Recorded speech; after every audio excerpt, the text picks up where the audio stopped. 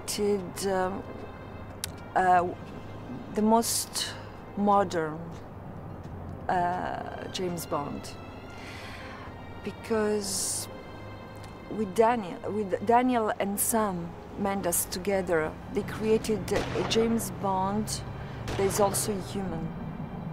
And because of that, it becomes even more dangerous and even more mysterious.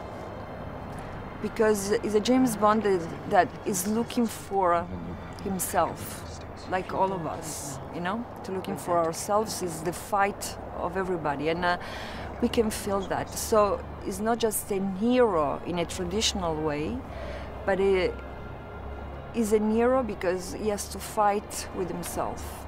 And uh, so it's a really a new idea of James Bond. Author of all your pain. Of course, to work with Sam Mendes is, is amazing because Sam he knows what he wants and he protects the actors.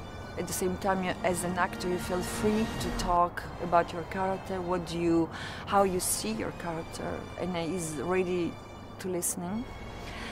And um, and so the atmosphere and the energy on set is is really easy.